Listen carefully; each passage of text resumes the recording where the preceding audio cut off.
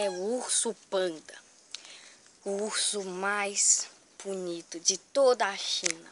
O urso panda, além de ser um urso fofinho, grande, poderoso, também é um dos mestres do bambu. O, o panda é um dos animais mais comedores de bambu do mundo. E também é o mais fofo, o mais lindo, o mais forte e o mais raro. Vamos conhecer o urso panda nesse vídeo. Vamos lá conhecer o urso panda. Panda gigante, nome científico Aristopoda melanoleuco, do grego Aristopa, gato poda, pés e melano, preto, leucos, branco, é um mamífero onívoro da família Ursidae, endêmica da República Popular da China. O panda gigante foi descrito pelo miseno francês Armand Delvin em 1869 como ursos melanoleucos. No ano seguinte, após menos os Harts, ao examinar o material enviado por Darwin, notou que as características ortenológicas e o,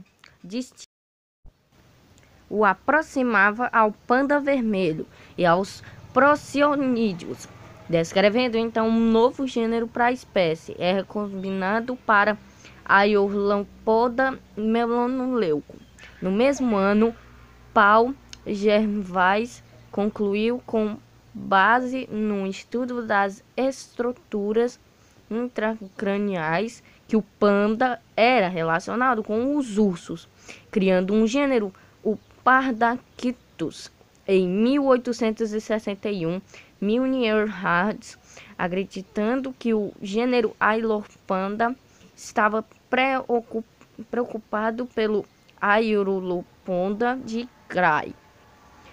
Publicando em 1869, propõe o nome Ailopans. Helen Harry Flops e Richard Leucuned em 1891, resultando em uma considerável confusão na literatura subespécie. As classificações do panda gigante têm sido objetivo de grandes controvérsias por muitos anos principalmente pelas características compartilhadas com o panda vermelho, como semelhanças na estrutura cranial, dentárias, viscárias e genitália externa, assim como a presença do osso sensamoide, opositor na mão, falso dedo, ou seja, tem seis dedos, inicialmente tratado como urso, e posteriormente relacionado com o panda vermelho e o procicídios.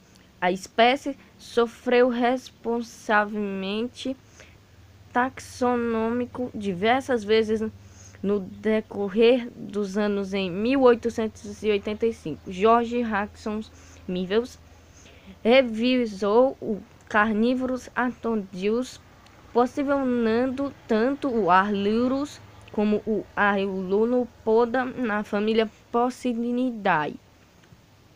Flower e Lidecker, 1891, dividiram os gêneros, de, deixando o Airlondus na proximidade e movendo Ailurtudos para Ursidae em 1895, relacionado um pano ao gênero extintos, o Agriterium. Em 1901, Ray Likert e Richard Likert reafirmam o procedimento de ambos dos gêneros entre os procilídeos separados da subfamília. Duas subespécies são reconhecidas com base em medidas craniais distintas, padrões de coloração e genética populacional. A Ilopanda melonleuca, melonleuca, a Ilopanda melonleuca quilingenes montanhas Quilímudes e Sanchiques, elevações de 1.300 a 3.000 metros. E o pandas, o panda Aeropanda melanoleuco melanoleuco é encontrado ocorreu em Sichuxing e Gansu. O panda gigante está confirmado ao centro da China. Suas distribuição atual são conscientes em seis áreas montanhosas isoladas: Minqiang, Qiling, Qiulanglai, Liangshai, Taxinglin e Xiuklaxing provinciais de Gansu, Shaanxi e Xinjiang, o território total que a espécie ocupa é aproximadamente 30 mil quilômetros e 102 a 108 quilômetros é, de território.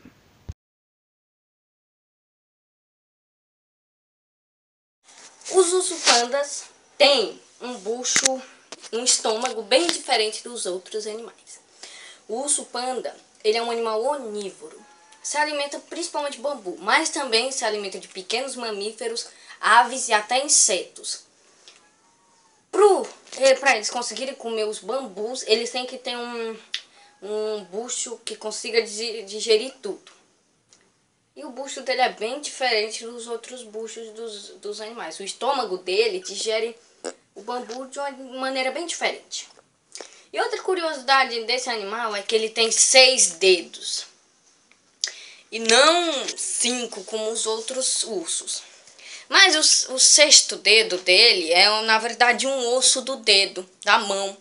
Isso é que dá ao panda um, um ótimo manejamento assim nos bambus. Que dá a ele a força do panda. E ele é super bem com bambu. eles comem folhas e também a casca dos bambus, que é bem, bem grossa e aí para eles conseguirem comer tem que ser bem diferente comparado aos outros bichos, né? E aí eles comem bambu, a folha do bambu e o bambu.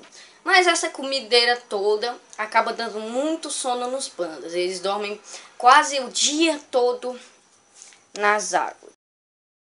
A espécie originalmente ocorre em mais regiões ao leste e ao sul da China, com registros fósseis indicando sua presença até no norte de Myanmar e no norte do Vietnã.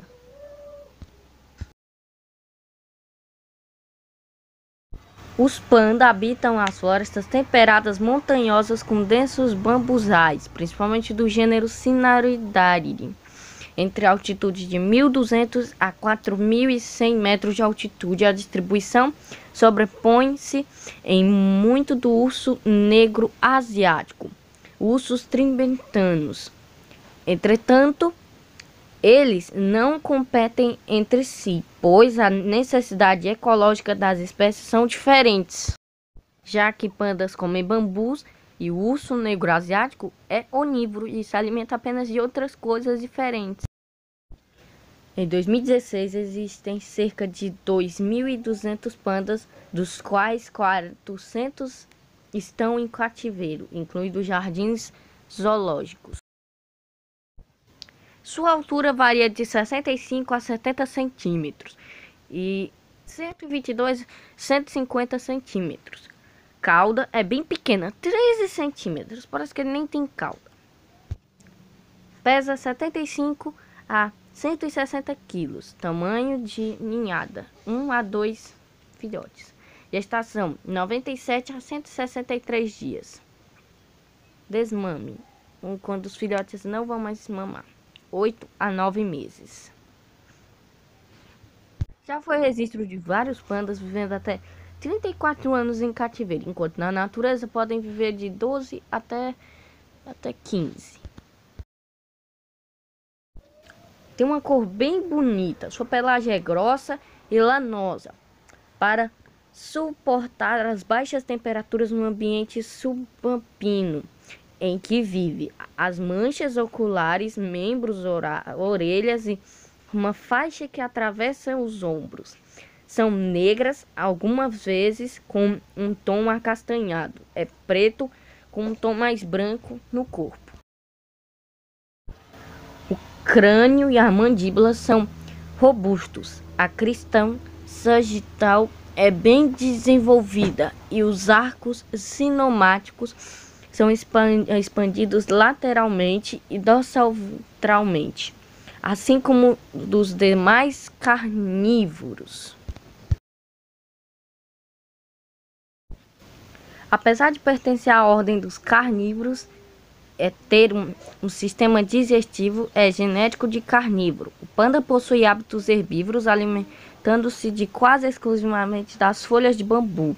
Análises usando as, as cinturas químicas de ossos e dentes de pandas antigos e modernos indicam que a hiperdependência de ursos em bambu poderia ter desenvolvido há cerca de 5 mil anos. O panda gigante consome em média de 9 a 14 quilos de bambu por dia, mas dividido a possibilidade de nutrientes característicos do seu sistema digestivo. Ineficiente, ele tem que passar a maior parte do dia a comer exatamente um pouco. Os pandas podem alimentar-se de 25 espécies diferentes de bambus, mas a devastação das florestas limitou-se a pouca variedade em lugares mais íngremes, elevados e isolados da Ásia Central. A folha e o protos de bambu são ricas em nutrientes. Apesar de manterem as presas garras capacidade digestiva, a força para caçar pequenos mamíferos, aves, peixes e ovos. Ainda que o bambu seja rico em água, 40% de seu peso, chegando a 90% no caso de brotos, o panda bebe frequentemente água de riachos ou neve derretida. Outra curiosidade fantástica do panda é que ele se enrola é, como é que eu posso dizer? Cocô de, de cavalo, assim, de vaca. Mas isso é por causa que ele vive em temperaturas muito altas, muito geladas. É por isso que ele se esfrega aí na, nas merdinhas de, de cavalo. Em cativeiro, a sua dieta consiste em bambu, cana-de-açúcar, mingau de arroz, biscoito especialmente ricos em fibra, cenoura, maçã e batata doce.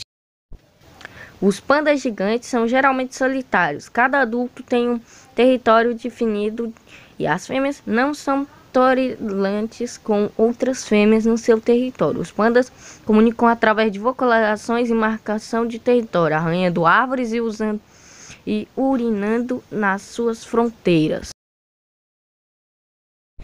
Os pandas são dóceis. São dóceis. Eles podem apresentar comportamento agressivo, sendo então muito perigosos. Os pandas utilizam mais memória espacial do que memória visual. Embora os pandas sejam tradicionalmente considerados na categoria crepuscular, aqueles que são ativos duas vezes por dia ao amanhecer e entardecer. Shang Xindong descobriu que podem pertencer a uma categoria própria. A conservação dos pandas são muito importantes para a natureza e a essa espécie. Por isso, na China toda é feita diversas conservação com esse animal. Para que esse animal não desapareça de vez na natureza, é feita diversos trabalhos de conservação com esse animal para que ele não suma de vez. O animal está invulnerável, um estado de conservação muito perigoso. Então é isso aí, pessoal. Gostaram do panda gigante? Pois então, deixe seu like, seus comentários, se inscrevam aqui no canal, me ajudem lá no Instagram, tá tendo diversas curiosidades daqui lá pra vocês. Tchau e até a próxima.